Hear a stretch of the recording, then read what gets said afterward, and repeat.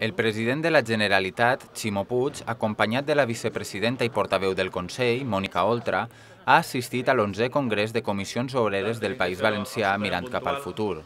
Durant la seva intervenció, Puig ha subratllat la importància de la labor que es realitza des d'aquest sindicat.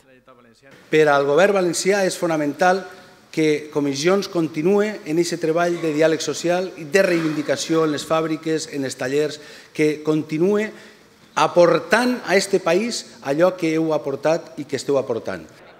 Així mateix, la vicepresidenta Mònica Oltra ha defensat el valor de la unitat i la col·lectivitat enfront de l'individualisme en temps de crisi. Els sindicats, com a defensors dels interessos col·lectius, en aquest cas dintre de les relacions laborals, la part més feble de la relació laboral, el que feu és traure a les persones de la seva solitud i de la seva vulnerabilitat i junts, col·lectivament, ens sentim més forts.